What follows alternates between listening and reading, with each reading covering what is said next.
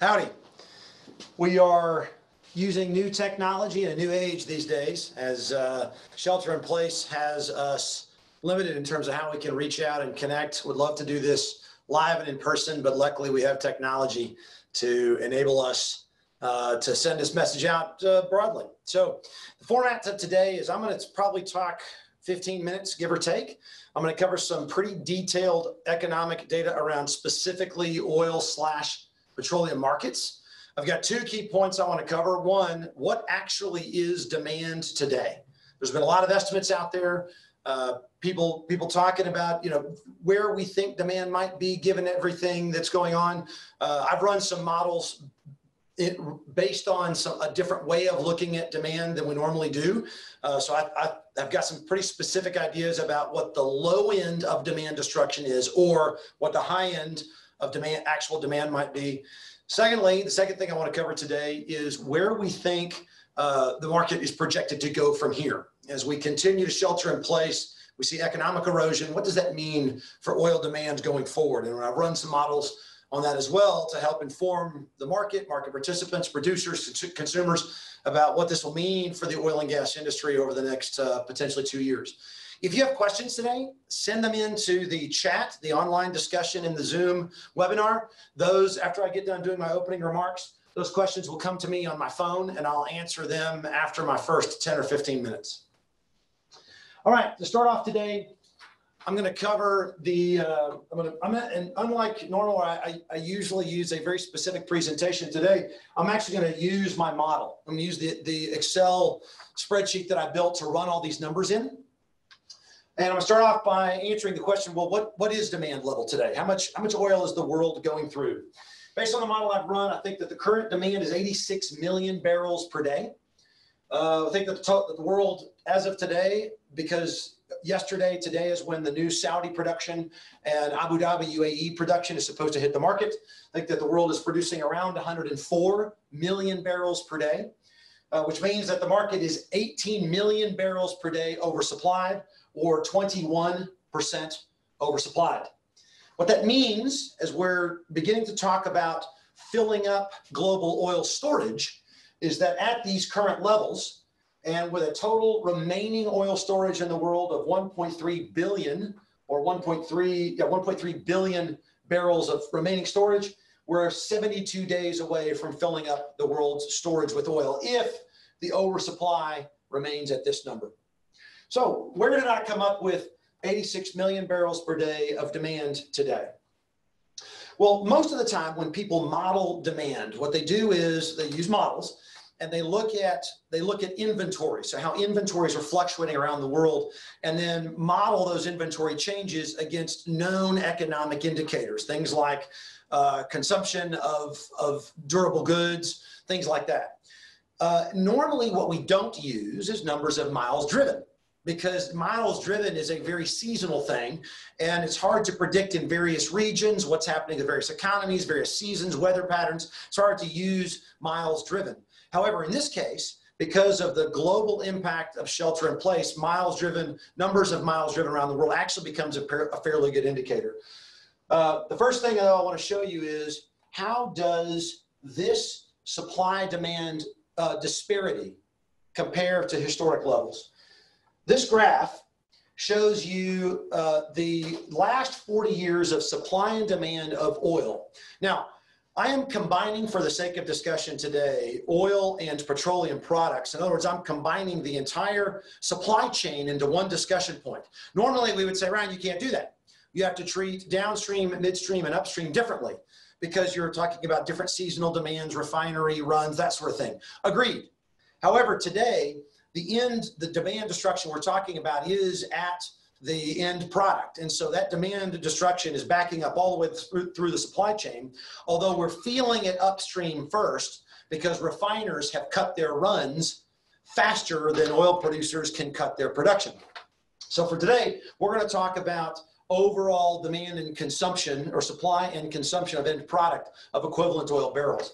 But if you look over the last 40 years, supply and demand, production and consumption of oil products has really been within plus or minus 2%. In fact, if you look, if I were to show you a price chart where WTI prices were during this period of 40 years, what you'll find is that when oil prices are at their most extremes, it's only due to a 1 or 2% oversupply or undersupply of crude oil versus market demand. We'll take a look at where we are today. Up here, you'll see that we have a total of 21% demand or, or supply demand disparity. The market is 21% oversupply. That is almost 10 times the amount we've seen in the last 40 years. And if I went all the way back to 1950, which would add another 30 years to this graph, you'd see that the most it was ever oversupplied or undersupplied was during 1974, 75, during the Middle East oil embargo. There were some months in there where it got up to close to 6%. But once again, that was due to an abnormal or an unnatural market condition of the Middle East producing and storing a lot of oil. So the U.S. had to had to react with West Texas Intermediate and U.S. production skyrocketing. So 21% oversupply today is by far the biggest amount we've seen in history. Well, back to Ryan, where did you come up with this 86 million barrel a day total amount or the demand destruction of 16 million barrels, 15 million barrels a day off of normal consumption? Where did you come up with this number? Well, we look at three prime or two primary sources or consumption areas of fuel. One, jet fuel, two, fuel that is used for individual transportation, mostly cars, light transport, individual drivers. One of the assumptions in my model is that if you look at things like heavy hauling freight, that in general those levels have stayed constant. Well, yes, there's some some heavy hauling, some diesel consumption that's not being used. Things like school buses, it's being replaced with added amount of freight on the road to transport goods because people aren't driving their cars as much. So we assume that freight and heavy hauling stays relatively constant, which is probably conservative. And instead, we look at exclusively jet fuel and individual transportation. Let's start with the simple one, which is jet fuel. Uh, let's start at the levels of these of these fuels. How do we know how much diesel, how much uh, oil production that went to gasoline, diesel, and how much went to jet fuel that uh, that's going on in the world as a as a pre COVID nineteen levels? Um, what we had to do was model out because the, the EIA doesn't have the doesn't have real time data on how much oil is being turned into gasoline, into diesel, and into jet fuel. So we had to model this based on historic trends over the last two or three years in regions around the world. And what you'll see is that, that we, we came up with out of nearly 101 million barrels a day of total crude oil that was being produced just prior to the COVID 19 um, downturn. 26.7 million barrels a day was going into gasoline, 28.8 million barrels a day going into diesel, and 7.3, 7.4 million barrels a day going into jet fuel. We know that almost all of gasoline goes into individual passenger cars. So individual transportation. We'll use most of that number based on our models. We obviously know that jet fuel goes into jet transportation. Uh, the, the question is how much diesel goes into individual passenger transportation. It's very little in the United States and most countries. It's a higher percentage in Europe, but we'll work through those models here in a minute to come up with a total amount of gasoline and diesel that's used for individual transportation. First, jet fuel. Of those 7.4 million barrels from sources like The Economist and others, we've gotten a lot of different ratios of how much jet fuel demand has dropped around the world. As we ran averages from all the different numbers that people are reporting, 70% drop in jet fuel demand right now, which correlates to a 5.2 million barrel a day drop just in jet fuel. That's the easy portion of the numbers that we're going to look at today. Let's now jump into the, the more hard, the more complex side. How do we know how much demand drop we've seen in individual driving? First of all, we looked at the number of uh, the amount of energy historically that gets converted from oil and fuel into individual transport and used that to identify what portion of gasoline and jet fuel, oops, bear with me just a second.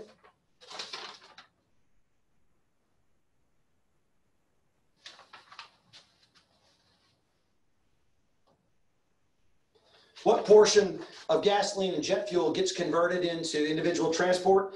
Of the 55 million barrels a day going total into transport, some of that's gasoline, some of that's diesel. 30 million barrels a day, that's combining gasoline and diesel, goes into light or individual passenger car transportation.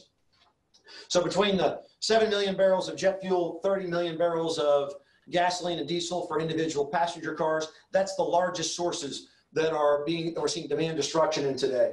Now the question is, how much do people normally drive? So the next thing we did was, the next thing I did was look at average commute times around most of the dominant nations in the world where we have most of the cars and total amount of, of miles driven per car. And if you can't see this, that's six, 6,600 miles per day per car in the world, averaged out amongst most of the major uh, car consumers in the world. Um, and so when we look at the total amount of, of the, the average commute per area and the total amount of cars, total amount of mileage per car per area, we're pulling all that together to get a model of the total amount of uh, total amount of miles driven by the average driver in the world. Then looking at the total number of cars in each, in each country in the world, we can extrapolate average total amount of daily commute per car in the world at 7.6 miles per day. That's the average commute per car in the world. And we pull all that together in our total analysis. So I looked at three, three, three different groupings. First, the United States, second, China, and then three, the rest of the world. I looked at total number of cars, average number of miles driven per year, and then the average number of miles driven per day over the number of people. You can look at all these various numbers, uh, total commute time to figure out when I, when I overlay the number of people who are sheltered in place today as a ratio of total population, I now know the number of people who are not driving to work every day. Now here's one of our here's one of my big assumptions. I assumed that the that the ratio of people who are sheltered in place is equal to the ratio of people who are no longer driving to work. I will say that's a conservative assumption. In other words, that's a minimum. What we find is that actually most of the people who are sheltered in place in the world are in the major urban areas, which is also where most of the uh, most of the driving is done for work every day. So this is a lower limit when I look when I treat the ratios equivalent across the world. And my test was looking at the United States and its gasoline demand, and also looking at China and its gasoline demand. So when I figured, when I determined that there's been a 64% reduction in work driving in the United States, determined that there's been a 56% reduction in work driving in China, and looked around the world, there's been a 33% reduction in work driving around the world.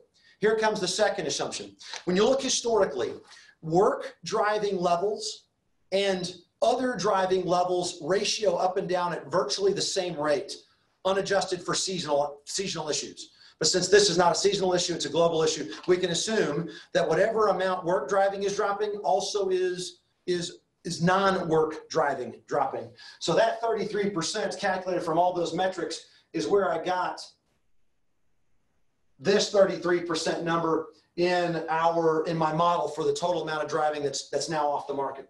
So between 33% of total driving down in the world and the 70% of jet fuel that's down in the world, we have a total consumption today of 86 million barrels a day, which I opened with. At, uh, at total, already talked about this, at a total production level of 104 million barrels a day, that's where you get the 18 million barrels a day oversupply. Now, the big question after all this is, well, Ryan, uh, where does this go from here? At what point do we do, do we see recovery?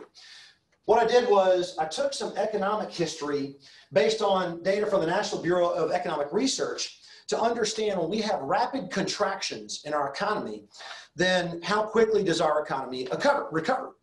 And in particular, in this instance, we're seeing we're going to see two aspects of this downturn. We're going to see the people who have a job today, who currently are not driving to work because they're they're staying at home or they're sheltered in place. So we can assume that as soon as the, the stay in place orders are lifted, they, have, they will immediately go back to work and therefore that demand returns immediately. However, everyone who has been laid off during this downturn, uh, they will not return to work immediately. They will take some time before they get their jobs back. So I'm combining, for the sake of my projections, the short-term demand that returns when people who have their jobs go back to work, and then the long-term recovery as people get their jobs back. So we modeled this out. I modeled this out for a 30-day, 60-day, 90-day, and 120-day shelter in place. Right now in the United States, the president just issued uh, a couple days ago a new, hey, we're gonna we're gonna shelter in place or, or uh, stay at home order through the rest of this month. So that's a 30-day uh, that, that would feed into our 30 day model. If at the end of that we announce there's going to be another month, well, what does that mean in terms of demand return for oil? And so I modeled, as I said, a 30 day, 60 day, 90 day, and 120 day uh, projection, depending on how long the, the world averages staying at home. This graph shows the demand projections. This line here This top line was the trend before COVID 19. So if we just simply stayed the course, no COVID 19, we were seeing a little bit of a dip here at the beginning of the year. And then after that, demand was going to begin to grow again at a, at a roughly a one half, between one half and 1% per year rate. Obviously, with the COVID 19 reaction, we're seeing a massive demand destruction. And these various lines represent uh, how how the the market I expect it to react based on how long we're sheltered in place. If the 30 days, so this is today, if after the 30 days we get around the world the orders lift and everybody goes back to work, that between the immediate recovery and then the slow economic recovery, we see we see back to our original trend line demand occurring by August of this year. August of 20. If it's a 60 day downturn, 60 day shelter in place, then we would return back to our markets, our, our, our normal trends. This is March of 21. If we see a 90 day, then it's November of 21. And if we see a 120 day world shelter in place, then this is June of 22 i.e. greater than two years away by the time after 120 days that demand recovers to its pre-COVID-19 levels. Now the question is, what does this mean for markets? Well, the world can't stay as oversupplied as it is today for very long because we'll fill up all the storage. And so if in 72 days nothing else has been done, you'll see world production slam shut to balance immediate consumption. What this tells us is, well, pricing will only stabilize when demand and or, when supply and consumption become into balance. And so if my graphs or if my hurricane chart, if you will, is accurate, then you could we could look in here and say at what point does at what point does does does supply begin to come off and as we can model out going into the future uh, it, these are the points at which depending on supply coming down we'll see balance in the market so we'll continue to monitor this. And these models are obviously, um, the, the, the former models were based on a lot of data we're getting about shelter in place, historic data, about how much people drive, commute times, all those sort of things. This is based on a lot of historic economic models and then projecting those based on our current situation, which is admittedly unique. We've never seen this before. But I wanted to give folks an idea of what is the industry looking at in terms of reaction times and when will the market or demand come back based on just historic economic models. The one thing I will say that while some of these might be, some may argue this is conservative or aggressive in terms of this, this, these numbers, I would say the one thing that gives me hope that these, these demand numbers may come back faster than prior economic history is not just the speed with which we're seeing the decline, but also the ambition with which uh, people around the world seem to be reacting. So you're hearing a lot of people anxious to, we know this is a risk. We know we have to do things to stave off uh, the COVID 19 spread, but also very ambitious about getting back to work, uh, about, about what we're going to do on the back side of this. So I think if people, uh, as, as, a, as a globe and as a country, if we stay uh, committed to that, that we're going to, man, we're going to pull out of this quickly and everyone's to get back to doing their, their thing, then these graphs could come much, much, much quicker. Uh, I'll close there. Those are the two pieces of data I wanted to give you to, to sum back up the, the, the world today is we're having 18 million barrel a day oversupply. Uh, depending on what happens with supply, supply is coming back into balance, then that will, of course, uh, change how long we have to store. It also change market prices. And then depending on how long we stay in a stay at, stay at home and how much economic destruction we see beyond just oil and gas demand will certainly have a big impact on how quickly oil markets come back. With that, I'll take questions. Um, I'm going to go to my phone. This is where, I'll, where the questions will be coming up, um, and I'll answer them as they come in. Okay, from Ethan Bellamy. Uh, where does your 1.3 billion barrels of available storage estimate come from? I've seen estimates from 900 million to 1.5 billion. Thank you, Ethan. Uh, we are we do see a lot of a lot of ranges today. Uh, we're pulling this from a from a couple different sources. We're looking at some EIA data, some IEA data, and we're also looking at some other models people are are um, have been running and then seeing where trends go. So we've kind of added added all that up to come up with the 1.3 billion, which we that's the number we feel confident in based on everything we've seen. Uh, Brian Litsky asks, what do you think will happen when storage fills in 72 days? Does the entire oil infrastructure, pipelines, wellhead, come to a halt? What implications does this have on or for resilience to bring it back? Or will the system get clogged and need to be purged? Technically, what is worst case scenario? Thank you, Brian. I think actually this kind of speaks to some of the, the worst case scenario.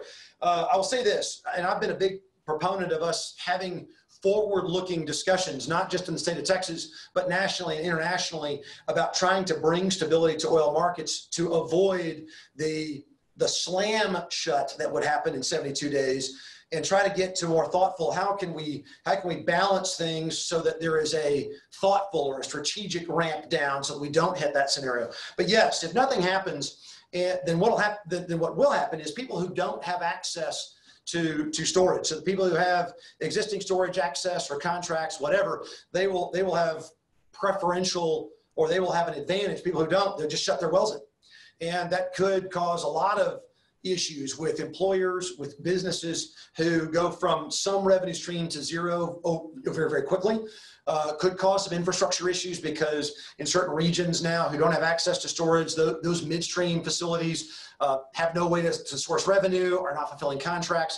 So I think the worst case scenario is that it brings a, brings an even higher degree of economic pain to the companies who are on the, the worst side of that. And overall, I think that will, in the long run, bring a lot of strain to the industry because of a, of a disproportionately um, harsh impact to a pretty big portion of the industry.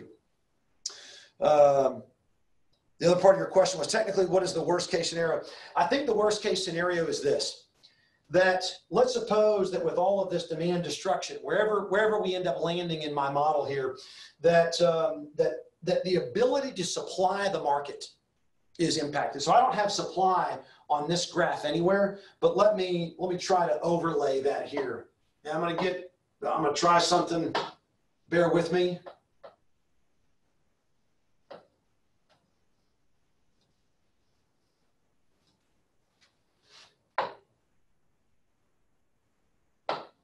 Let's suppose that supply today is up here, and we're hoping that's going to come into balance. But but let's suppose that that without any planning, that there's a lot of pretty bad impacts, and oil oil producers, oil companies are really straining. Independents are suffering bankruptcies, massive layoffs, and so the ability it's not just current supply, but the ability to produce comes down. And then somewhere in here, you know, we start to bounce back, and the market now demands much a pretty aggressive growth in oil consumption but the oil industry can't fill it. And so on the back end now, you, they start to try and fill it, but you see a big disparity between where there's where there's undersupply.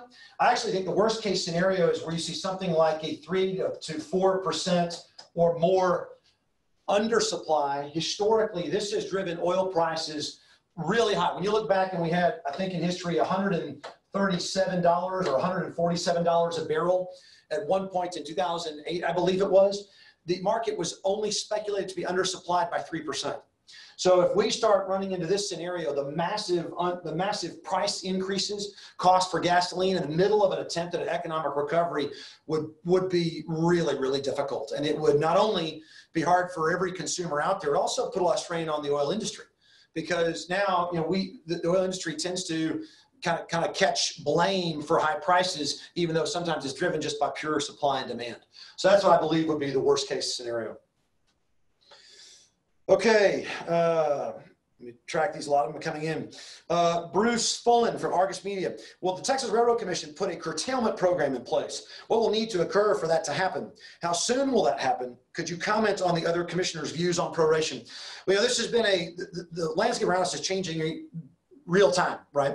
And uh, as probably most people on here know, I, I put out a, a statement saying, hey, we need to be talking about proration. It was just a couple of weeks ago. And since then, there's been a lot of conversation.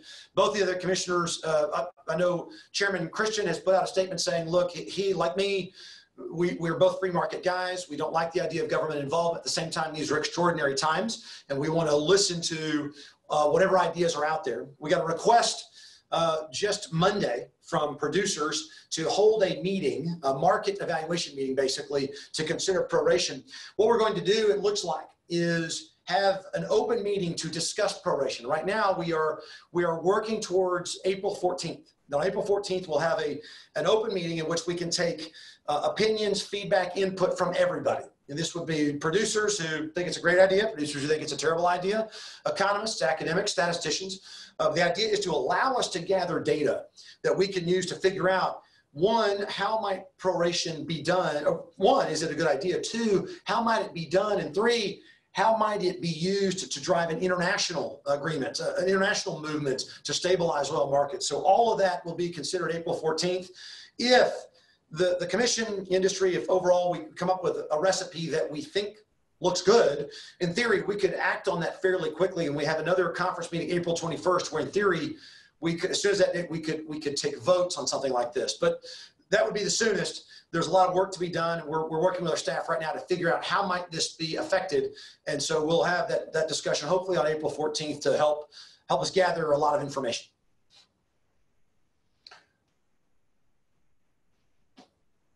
Uh, okay. Pete Morrow asks, you mentioned world storage. What is America's oil capacity and how many days before that is full? It's a good question, Pete. I think the latest data I've seen is it's around 300 million barrels in the United States. That does not include the Strategic Petroleum Reserve.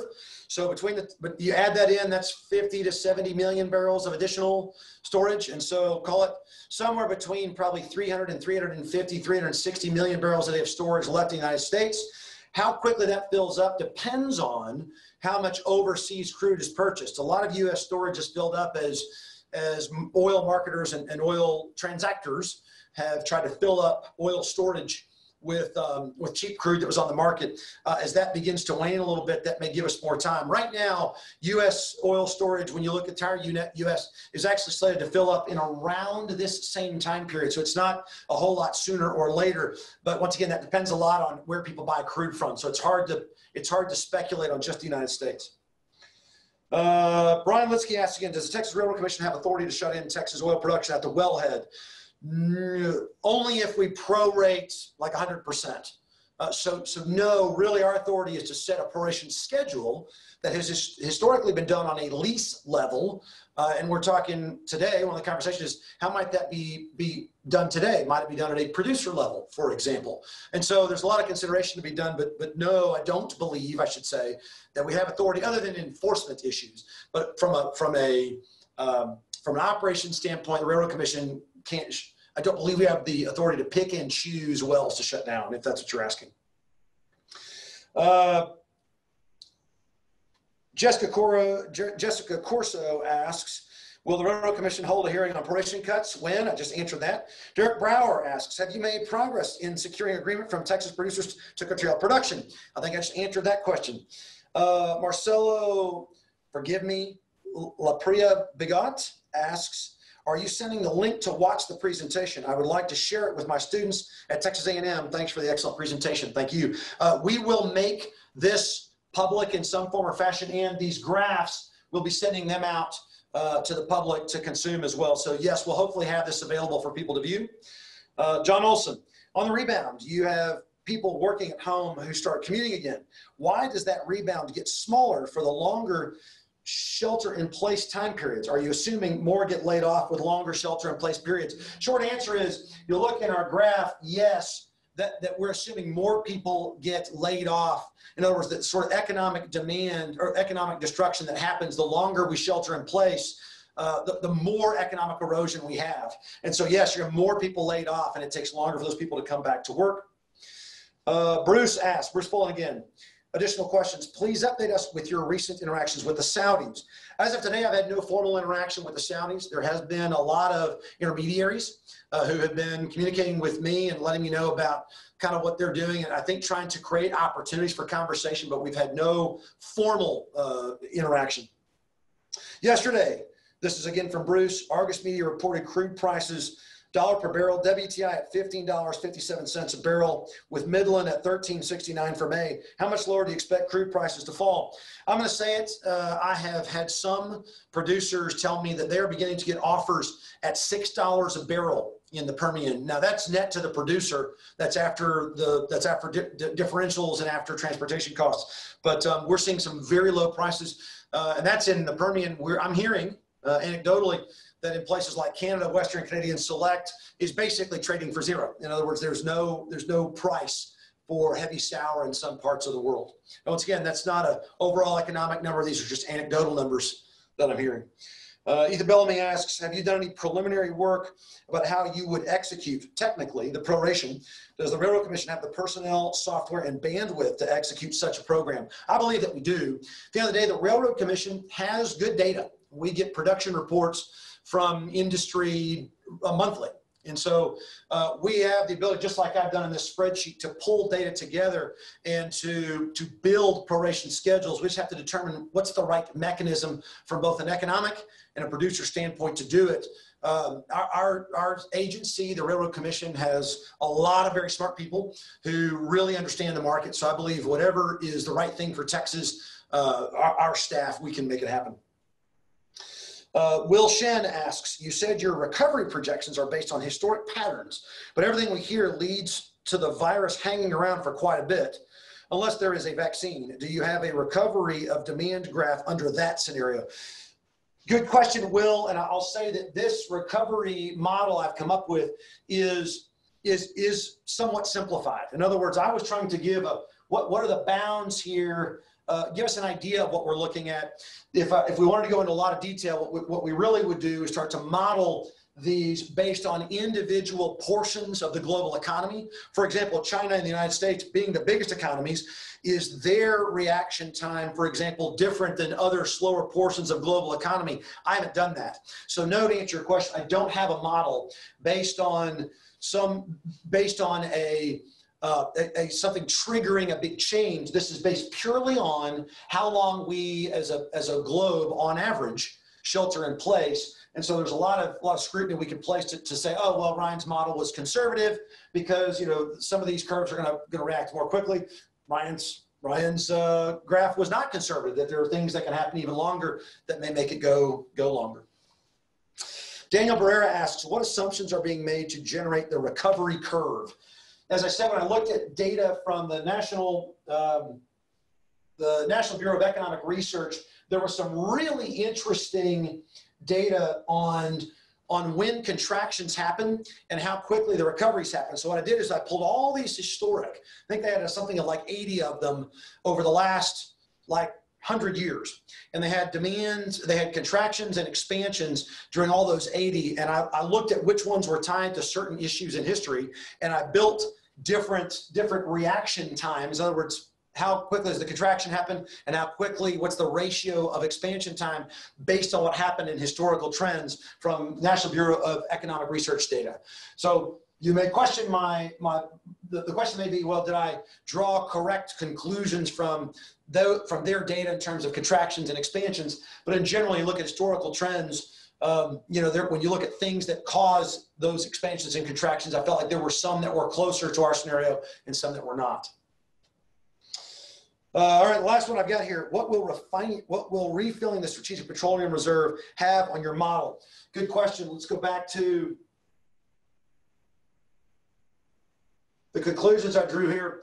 In the end, I say we've got a 18 million barrel per day oversupply. Strategic Petroleum Reserve, if it's, let's assume it's at, at the high side, we wanted to fill up 70 million barrels of the Strategic Petroleum Reserve. That's four days of global supply. Now, that may mean longer for the United States. So one thing that may happen is if the United States stops buying overseas crudes, uh, and that we start to fill up the strategic petroleum reserve, one thing that could happen is that the timeline for the world gets shorter, the timeline for the United States gets longer. And you will absolutely hear that some companies in the United States are pushing for that. So let's, the, the US companies are saying, let's give the US an advantage with our storage, give us a longer timeline to allow us to strategically ramp down. And so that's really where we're going to, where you'd see the biggest change is US access to storage. Uh, John Glennon asks, are there any concerns about the long-term precedent a Texas oil production cut would have on the oil and gas industry? Will it send a signal to investors that Texas may take actions that interfere with companies in low price scenarios? Good question, John. Here, here's my statement on this. I think the answer is no. Uh, and, and, forgive me for being a, a bit direct about this, but but this is a question about hey, is this is this sending the message to the market that that no longer is the oil business going to be a free market environment, that the Railroad Commission is not going to let that happen. I, I don't think that's the case. It, it, there's nothing about today's environment that says this is a free market. Uh, let's face it, the world oil price has been set by somebody for 90 years. It was set by OPEC for the last 40, and it was set by the Texas Railroad Commission to the 50 before that.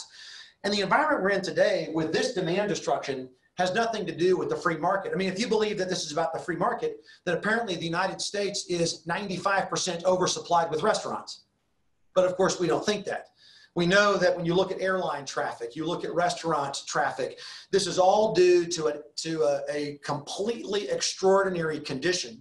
And so what's happening is state, local, regional, federal governments are trying to figure out how to do things to enable some continuity, some stability in all of these various industries so that we don't feel the pain on the back end. And so, so sure, I'm, I'm hesitant, right? I've got a, a my, my free market antenna are up and I say, we want whatever we do, if we do something, one needs to be aligned with an international movement to stabilize markets, but also how do we un, how do we get out of it ASAP tied only to COVID-19 reaction so that the world can be confident that in general, we aren't in the market business. What we're in is, is trying to provide stability during, during arguably one of the most extraordinary times in our nation's history. I think if people know that, then they, this wouldn't give investors a lot of pause. Uh, Sergio Chapa asks, does this data support industry requests for proration or does it support opponents? You know, Sergio, that's a good question. And I, I can't tell you what this supports. I can just tell you this is the data. Now, I will say this is somebody already asked about what happens in the US with storage. And I would say that if we start seeing that the US storage is filling up disproportionately early, then some may use as an argument say we got to pro we're going to prorate one way or the other they may say either because storage is all full and you know proration happens because we all we slam a bunch of wells shut or let's do it thoughtfully and try to bring some stability as we go down that road. I have heard people say that. One of the reasons I want to have this meeting April 14th is to see what people do with this data and then what they think that means, not just for proration, but for other actions that may happen both nationally and internationally. Uh, Kevin, sorry, uh, missed one. Uh, Zachary Mark Marchilden, Markilden, forgive me, Zachary. Do you do you believe that the supply cuts will have to happen naturally by the E&Ps, or will governments need to step in to regulate production volumes to get the levels needed based on your model? Uh, I don't know the answer to that, Zachary, to be blunt. Uh, I, I can't tell you today exact. I do know a lot of producers are beginning to cut already. Uh, especially when you're hearing these really low wellhead prices, they're just they're, they're shutting in wells and they're curtailing based on the economic environment. The challenge is a lot of what we're going to see is they're going to be laying down drilling rigs, which is where the biggest cost comes from. But that doesn't take oil off the market today. It takes oil off the market in three months and six months and a month from now. And that may be exactly when we want that oil back because that's when the market is beginning to, that's exactly when the market is beginning to come back. So there is a question about whether or not, hey, I may have to do things today to, to balance my my financials or to try to get them closer. And it really doesn't take a lot of oil off the market today, but it ends up taking oil off the market in six months, which is which is out of whack because of this extreme short-term down and up. So it's long as saying we're certainly going to see some reaction from from producers, and that will take some production offline. I just don't know if that's going to be enough to really bring stability. That's the discussion on April 14th. Uh, Tim Ferrito, have you taken a more micro look at various locations in the United States who have less ability to get into low global tankage? Likewise, have you looked at micro supply demand balances in the United States? Looking solely at global balances will be misleading for U.S. producers. I agree with you, Tim. This is that my model back here is based on global numbers. And to your point, man, even if I just compared Cushing to Mont Belvieu, right, based on where refineries sit and their transportation, this is not the, the standard number for everywhere. So you're, you make a good point. No, I haven't done that yet, but we are looking at it. Prior to our April 14th discussion, in fact, hopefully in the next few days, I'll have more detailed information about what we see happening in various areas. Uh, but I thought I thought important to start at the global level because at the end of the day, to the average consumer not in the oil business who just says, I need to buy a gallon of gas, and I like that it's cheap today, but if super low prices today translate into four and five dollar a gallon gasoline in six months, then I, that, that's no good. We're, this this more is speaking to the overall price of commodities for the average consumer. Adam Button asks, assume a 90 day shutdown. How much does global production need to fall? Is it realistic to expect a US Texas curtailment? I'll go back to my model here, and I'm going to preface this by saying that, look, this, this makes some pretty big assumptions about the amount of economic downturn that we've seen in the first two weeks of coronavirus and how much that continues. Now, my, my, my, my, my personal economic studies, my economic models say, look, we're seeing a fairly, I don't say linear, but a fairly steep economic decline. And, and so we're seeing this, this really steep drop off. So if you ask in the 90 day shutdown, 90 day shelter in place, according to my model, global demand would get down to 75, sorry, would get down to somewhere below between 70 and 75 million barrels a day with a 90 day shutdown, a 90 day shelter in place. Uh, if that's the case, I think everyone in the world is going to curtail. Storage will be full, and you'll get to a point where the world will, will only be able to put out as much oil as it is consuming. So, yes, you're talking about that point. The world will have to have shut in roughly 25% of its current production just to balance markets. And the United States will have to have, have to participate in that either due to market reaction by the businesses or due to government action. Uh, Eric Jansen asks, do you have any advice for someone who is graduating with a petroleum engineering degree right now? Yes, Eric, I do. Thank you for that question. Uh, look, I'll tell this to anybody in industry, and I'll get a little philosophical for you for a minute, with you for a minute. One of the things that we miss sometimes in these types of downturns uh, is it's, and I, have felt it before. I've been through three of these in my time in industry, and it is it is hard to look at this and say, man, uh, how, how do I get optimistic about opportunities? It, you'll look even in my 120 day scenario, two years from now, the world is going to want the same amount of oil it was going to want whether or not we had COVID 19. And in fact, I'll even go a step further. This was the previous trend line. One thing that the world will want even more when we begin to react, get out of COVID 19 is affordable, reliable energy. And there is no energy source more, a lot, more reliable and more affordable than oil and natural gas. So you're going to see, I believe, eventually the demand even comes up higher and the world will want 102 103 104 million barrels a day at some point. Now whether that's two years from now three years from now four years from now the world's going to want it. And it's going to take a lot of technological development to get there. Here's what i would tell you eric take this opportunity to expand your knowledge. And this is not just for folks graduating with a petroleum engineering degree.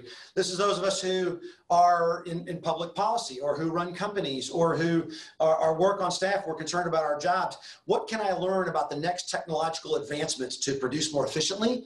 Uh, how much are we hearing these days about use of data to look at all this data I've just done to inform us. And I pulled publicly available data. Nothing I gathered up here was railroad commissioner specific. This was all stuff that you could find if you didn't have research from public sources, but pulling together data to model things. For example, how do you make a refinery more reliable using data? How do you make production costs come down? How do you prevent failures? I mean, using, there's tons of data out there. We've heard a lot about that over the last couple of years. Well, well learning that. So taking the, the, the old school knowledge and the, the really key things we've needed in industry, and now you, now you taking this opportunity to learn and evolve is where we're gonna see big opportunities to participate in the future after we get past this two-year downturn. But Eric, I will say this, my heart goes out to you because it, it's, I think the next couple of years are gonna be challenging. But, uh, but if you're just getting out of college now, you're gonna have a lot of your life to have a lot of uh, to do a lot of great things in the oil business. Jennifer Zhu asks, will other states in the United States work with Texas to cut oil since it is a global issue? We don't know the answer to that yet, although we are starting to have connections uh, informally today with other states and hearing that other states are looking at this as well. So as right now, I had no formal interaction, but expect that that will come because everyone in the world is looking at this as we look to stabilize uh, the markets in every in every pocket, every state, and every nation, just like you said. In fact, one thing I'll comment on this, uh, you didn't ask Jennifer, but I'll, I'll, I'll take this approach, take this time to mention it. You know, one thing I think is telling right now is while the federal government is you know pushing out trillions of dollars in stimulus money all around the world, all around the country, I mean, to bring stability. You know, one thing about proration is it's not asking the government for money. In fact, one thing I was really disappointed in was that the federal government pulled funding for the Strategic Petroleum Reserve, not because at the end of the day, $17 or $18, whatever they would have paid for that oil was going to be great for the oil business. It provided a little bit more storage. But man, the, I do not believe for a second that the world can make 100 million barrels of oil for $30 a barrel or $40 a barrel probably even $50 a barrel. I think it takes 60. So the federal government could go in and buy oil, fill the Strategic Petroleum Reserve, and then triple their investment in a matter of a year or two when the market comes back. So it would have required no no money going to private business, no stimulus dollars. Instead, would have been a fantastic investment that still would have brought some stability. So I was disappointed to see that taken out when it was such a great investment opportunity for the government. Henry Hoffman asks, it seems you are leaning towards proration. Then is it your opinion that Texas production is at the high end of cost curve and some of the first to shut in. It's our understanding that Texas shale uh, lift costs are lower than a lot of other global production. So why not just let the market sort itself out? Okay, Henry, good question. As I, I said a minute ago, let me try to be a little more prescriptive. This isn't about cost of production because we already drilled the wells, right? So yes, lift costs right now are fairly cheap. It's about where do you have storage available? And what about what happens on the back end when the demand is there and, the companies have gone bankrupt due to an artificially low revenue source?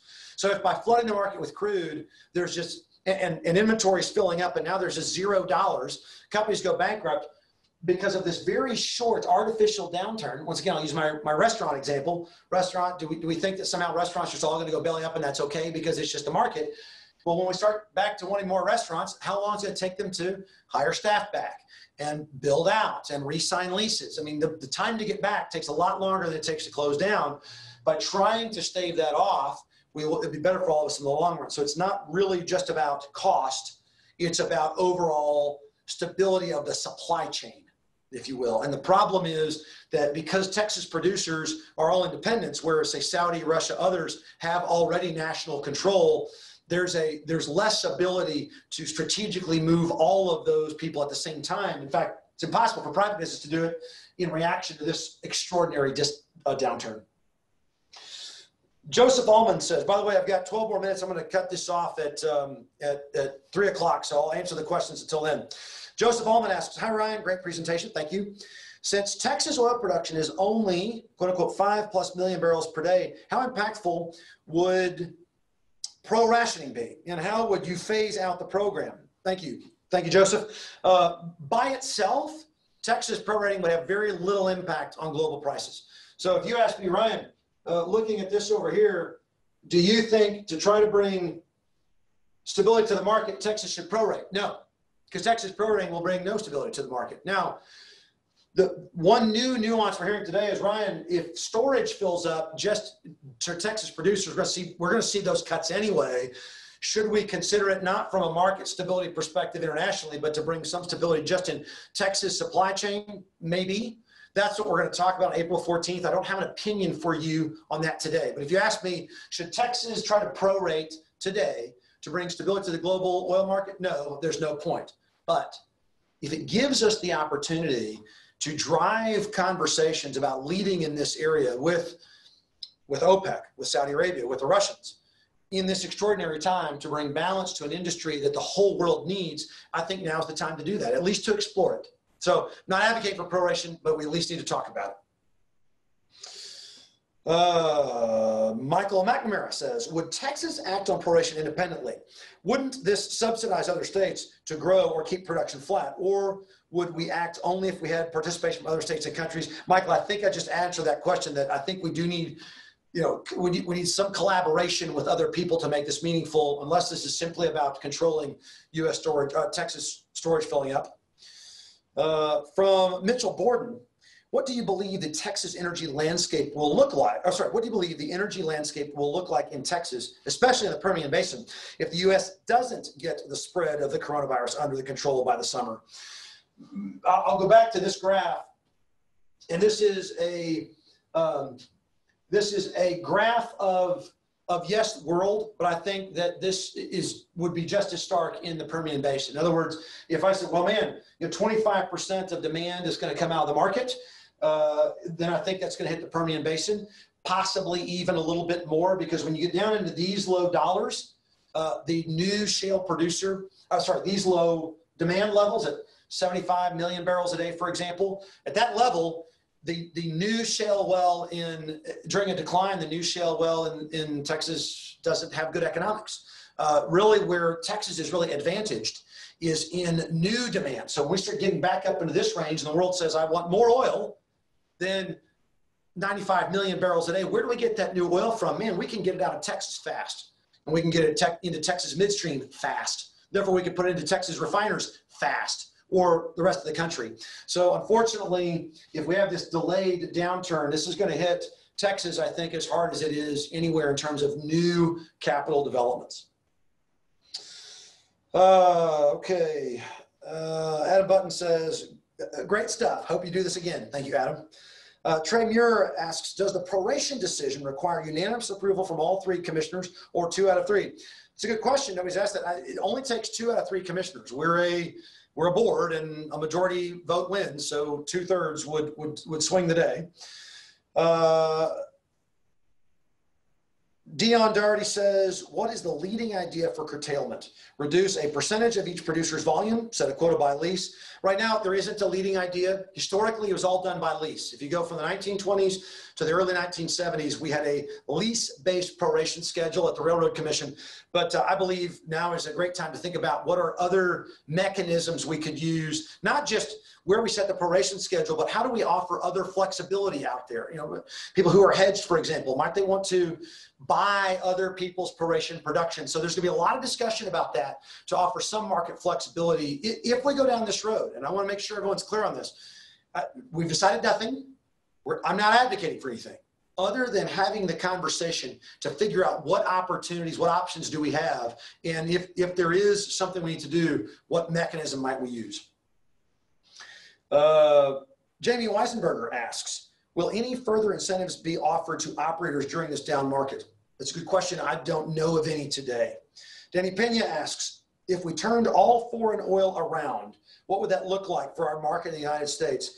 Then that's a good question. And, and if I looked historically up to about, um, if you look at US refining runs, you say, well, the US refines roughly, let's call it 18 to 19 million barrels a day of crude oil. Now, a lot of that is turned around and exported right back out. We, we're exporting of our refined products about four to five million barrels a day. I mean, we're, we get that, that's not a, not a, that tends to kind of fall into the backlight, but our, our refiners are the leading refined product suppliers in the world.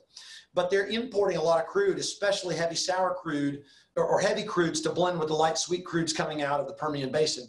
I think but I, I got I think we import roughly, if you use, well, the United States was producing 12 million barrels a day. So we're importing 6 million barrels a day, roughly. Uh, let's call it 5 to 6 million barrels a day of crude that's coming in the United States from all over the world.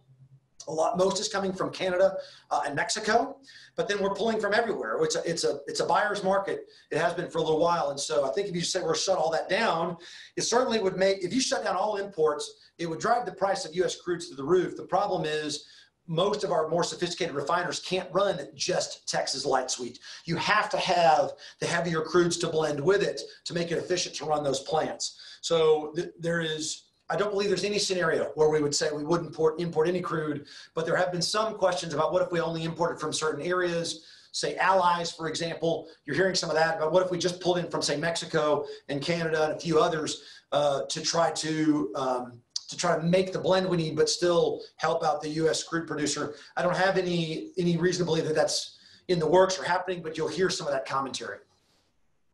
Uh, Matt Most, the Wall Street Journal editorial board prefer, referred to proration as a particularly bad idea. How are they wrong? Well, look, I'll go back to the idea that in the end, um, do you think that uh, do you think that the things the government is trying to do to stabilize markets in in uh, in, in schools, for example, right? Where there's there's school teachers now shifting their focus away and people being educated from home. Do you think that what they're doing in restaurants, do you think what they're doing in, uh, in in the airline industry, those are all bad ideas? Look, they I'm not I'm not saying proration is what we should do today, but to prejudge a conversation we haven't even had, frankly, I find is arrogant.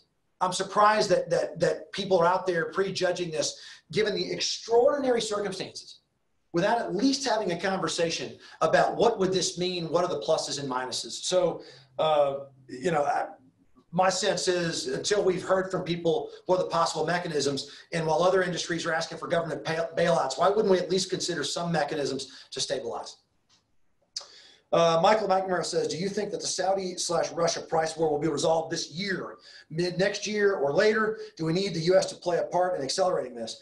Well, that's the first thing last. I think the U.S. does need to play a part. Clearly, there's a lot of international positioning. Um, there's a lot of opportunist uh, strategy going on here, which normally speaking, I'd say good for them. If we were in normal market conditions, Russians, Saudis, the United States competing in the oil business, great. That we can have friendly competition. But, but now is the time to think about the sort of global good, right? If we end up in a situation where we can't supply the world's oil demand in a few months or a year, that's going to be so detrimental that nobody in the oil business will look good.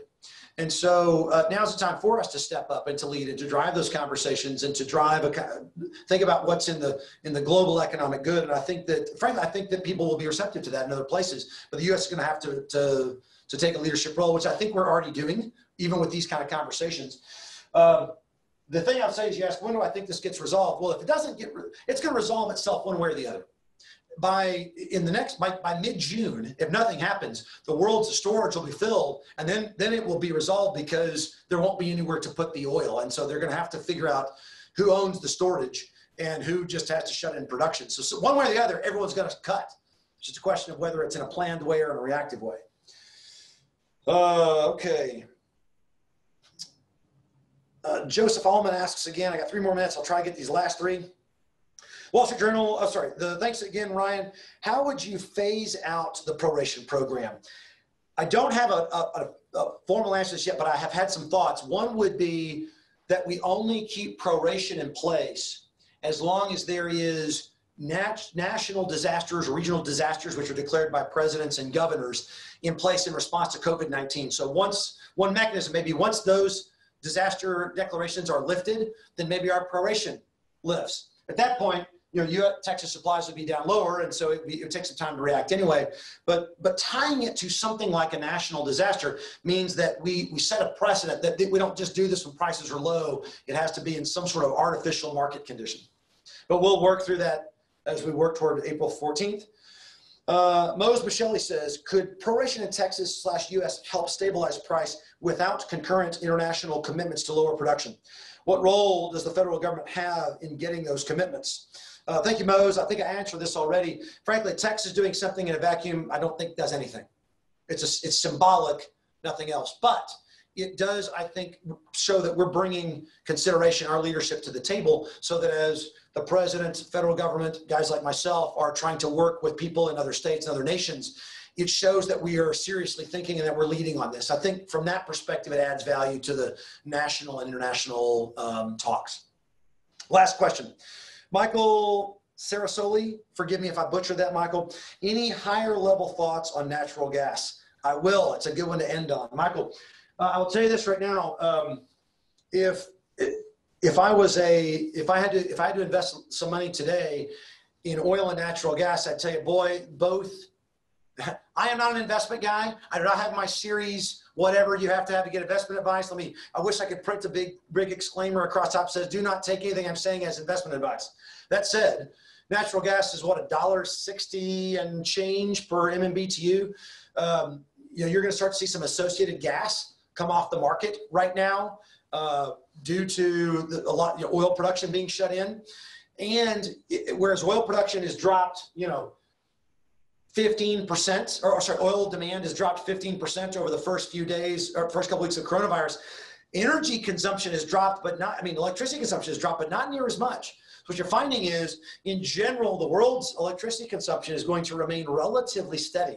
So I think that that natural gas prices, the, the natural gas markets actually probably have more quick upturn in them than the oil markets do. But the oil markets are so depressed right now that they make that between the two of them, it's hard to hard to figure out which one's a better investment opportunity. Go out here. The world is going to want affordable, reliable energy. The world energy demand has gone up every single year since 1950, or in a couple years actually stayed flat, but it's basically gone up every year. And if you look, the proportion of that energy that comes from oil and natural gas has actually gone up, not down. Now, granted, coal has shrunk, so it's made room for those other two, but the world's going to want these products. The question is, how do you weather this storm to come out on the back end and be able to supply the world's demand? And those who are able to weather this storm, I think, are going to be in a good position. All right, that's an hour. I know, by the way, I talk really fast. You, everyone was really patient. Thank you. Thank you for all the fantastic questions. We are going to make this available, uh, both the presentation and hopefully the graphs. We'll get those out there so people can watch these. Uh, if you have any other questions, don't hesitate to send them to me uh, either at our either our official Railroad Commission uh, website and my email address there. Get them into us. We'll try to answer them, and we will. I'll try to keep doing this to provide updates as we go forward. Uh, thank you, all of you in the oil biz energy business. Uh, while this is certainly about energy, it's also about the the global good right now. The, the world as we react to this and try to pull together access to affordable, reliable energy is one of the fundamental pieces of our economy. I mean, next to food, shelter, I mean, this is it. And so, um, for all of us who are in this business, we're going to play a key role in the recovery, and I sure appreciate everything that you do. Thanks for spending time with me today. Ryan Sitton out.